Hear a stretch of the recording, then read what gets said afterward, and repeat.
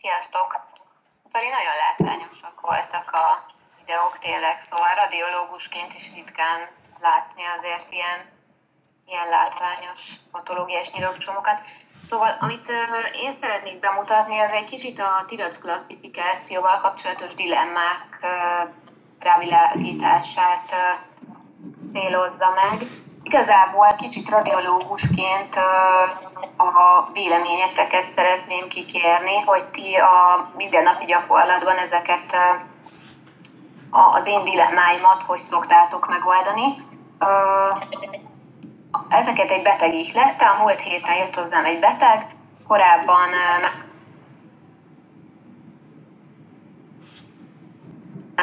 Szóval korábban más radiológus vizsgálta azt a beteget, aki jött hozzám múlt héten, egy 50 körüli férfi.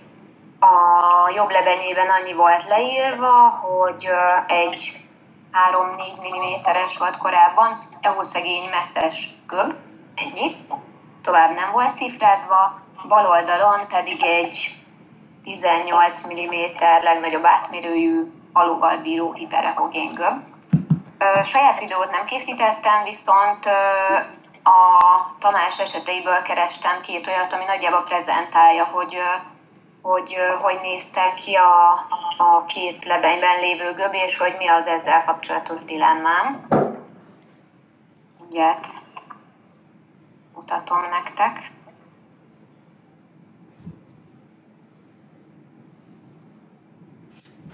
Tehát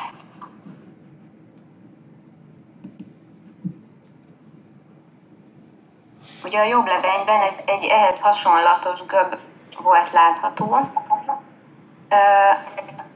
Próbálom olyan helyen megállítani, ahol, ahol jól látszik, hogy mire is szeretnék rámutatni.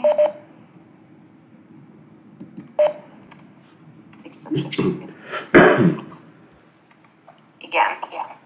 Na most ez egy körülbelül 5-6 mm-es göb volt, kifejezetten a hosszegény elmosott szélű makro- és mikrokalcifikációkat egyaránt tartalmazott, illetve ez a taller than wide megjelenés is megmutatkozott, tehát gyakorlatilag minden, amit a TIDAZ 5-ös göbökről általában úgy, vagy TIDAZ 5 besorolást indokolja. A kérdésem az az, hogy hát ez már nem lényeges, hogyha egy centiméternél kisebb a göl, és ezt Tamásra is próbáltam megvitatni, akkor ti javasolnátok nagyon gyanús esetben biopsziát, vagy inkább követgetnétek?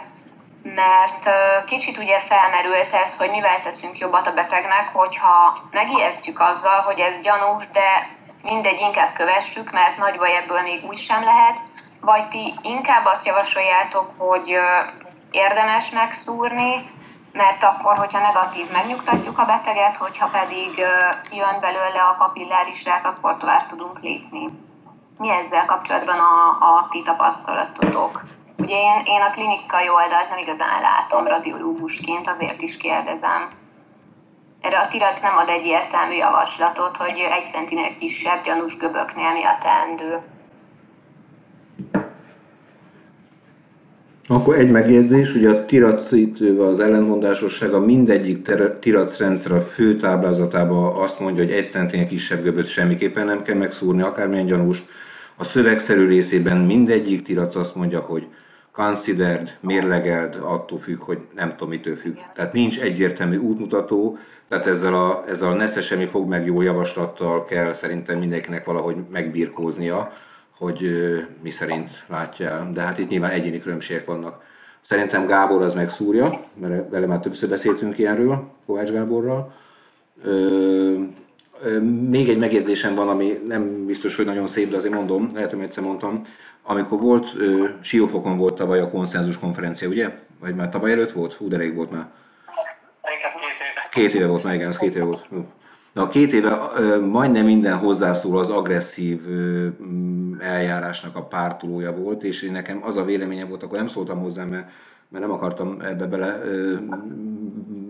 zavarni, csak az a gondolom, hogy a, hogy a fő emberek azok egyetemen dolgoznak, és az egyetemen szelektáltan jelennek meg olyan betegek, akik az átlagosnál rosszabb klinikai vagy prognózisus, prognosztikai megjelenésűek.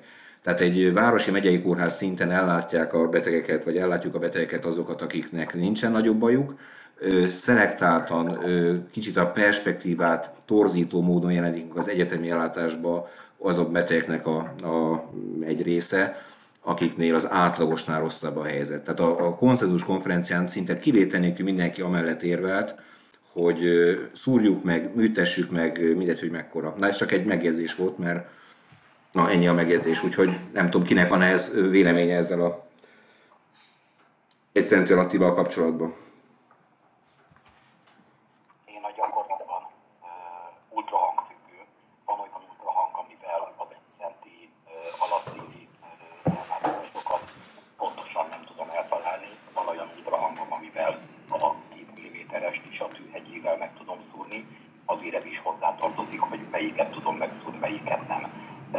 Általában én sem tudtam az egy centi alattiakat megszúrni, viszont hogyha gyanús, akkor én nem értem meg a beteget, én inkább annyit mondok, hogy akkor jöjjön vissza három hónap múlva egy ultrahangontrollra, de semmi esetben sem apatom bele annyival a, a, a, az inzidemámba, hogy emiatt egy karcinofóbiát, vagy egy betegségtudatot ébresztek benne. Igaz Pétert meg Valkos Zsuzsát kérdezem, hogy hogyan okítjátok az endokrinológusokat? Mit mondtok nekik? Hát én azt gondolom, hogy az 50 mm-es ilyen típusú rákoknak hosszú távú konzekvenciája nincs. Nagyon ritka az olyan, amelyik olyan agresszív, hogy az 5 mm-ből fél éven belül nyilokcsomó átétekkel a beteg halálát fogja okozni. Tehát én az utóbbi időben is operáltattam meg göbös pezsményet, két-három mm-es mikrokarcinomák voltak benne, de azzal nyugtatta a hogy nem ebbe fog meghalni, és akkor sem volna bele, ha nem operáljuk meg. Hát, hogy ezt véletlenül benne volt ebbe a gőbbe, a műtéttel együtt kivettük és meggyógyult. Tehát azoknak azt gondolom, hogy ami ott jó az ultrahang, meg jó az ultrahangos, azok a kicsiket is gyanúsabbnak vesszük. Sokkal több a mikrokarcinoma, de ez valójában a beteg életét nem akkor meglehetik a honlapkonstelláció, néha lehet, de erre mondom, hogy akkor vissza, mint a Géza, hogy vissza nem éreztünk, visszahívjuk, megnézzük. De hogy semmiképpen sem kezdjük el az 5 mm-t körbe felválni, meg a 9 mm-t sem, hanem az ennél egy nagyobb, nagyobb gömb az, amire azt mondom, hogy szórjunk. Hát legalábbis mi így csináljuk. Az üvegfétel nem szólt egy szót se. Még nem volt hozzá alkalma.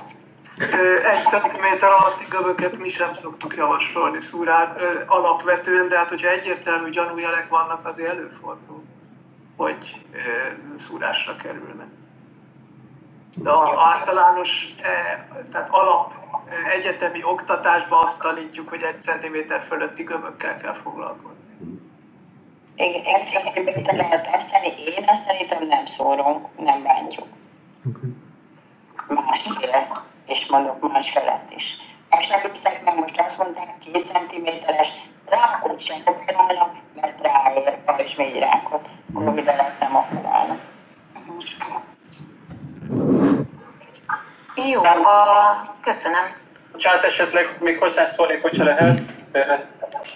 Igen, tehát a, a valóban így van, szerintem akkor van értelme az egy centiméternél kisebb göbölt megszúrni, hogyha az biztonsággal megszúrható. Az az iszmusban van, könnyen elérhető helyen, nem hátul valahol dorzálisan a, a légcső mellett, karotisz mellett, karotisz világú bárhol, ahol tényleg a bizonytalan, hogy egyáltalán mennyire tudjuk azt a tű végével eltalálni. Én úgy vagyok vele, hogy akkor hogy ha, ha jó, jó szólható helyen van, akkor érdemes megszületni. És itt, amit a, a hogy az a kapcsolatosan, hogy nem ebbe fog meghalni, e, hál' Istennek tényleg ez a tapasztalat, hogy nem ebbe halnak meg, de az egészen biztos, hogy nagy, viszonylag sok olyan beteget láttunk, akiknek, vagy láttam már én, akiknek tényleg csak mikrokarcinómája volt, ugyanakkor mégis nagyon sok nyirokcsomó áttétje Tehát ezek a mikrokarcinomok nem egy homogén csoport. Tehát azért, és most, hogy van arra lehetőség, hogy a, mondjuk egy göbös pajzsmirigyet megoperálunk, és utána még genetikai vizsgálatnak mentjük alá, mondjuk bírak pozitivitást ki lehet mutatni, hajlandó a beteg kifizetni a genetikai vizsgálatot, akkor ez azt mutat, és utána azt jön, hogy bírak pozitív, akkor azért mindig is megnyúztunk, hogy jó, hogy kikerült az a mikrokarcra, még akkor is, ha incidentálisan fedeztük fel. Tehát én egy kicsit óvatosabban fogalmazok most már magamban is, de valóban az a fő irányelv, hogy az 1 cm a határ alapvetően, de ha jól szúrható, akkor szerintem érdemes megszúrni. Én ezt továbbra is így tartom. De lehet olyan benne, ami, ami tényleg esetleg kicsit agresszívabb viselkedésű, mint a karcinoma. Évet Gábor, mert nekünk is olyan mikrokarcinomából volt már csomónak és akkor ezt is ki kellett a szívekben kellett megkezelni a beteget. De ha a, a gyakoriságot nézzük, akkor gyakoribb a mikrokarcinoma, hogy nem tétes, hanem Igen, csak mikrokarcinoma. Tehát, hogy itt is olyan, mint amikor piros esik. Tehát, hogy előfordul, de, de mindig nem a ritkán felesünk, hanem a gyakoribbra gondolunk először. De előfordult, nekem is fordult már elő. Zsuzsáiknak is volt már egy pár betegük, nekem is, én is feldolgoztam. A familiáris papilláris karcinóma esetén ja. a családtagoknál a legkisebb apró pici göböt is megszúrom. Ugye ritka, de azért most már egyre többet gondolunk rá, mert azért van néhány ilyen familiárisan előforduló papilláris karcinóma, ilyen családoknál érdemes, de, de én sem szoktam egyébként az egyszenti alapjakat olyan nagy sűrű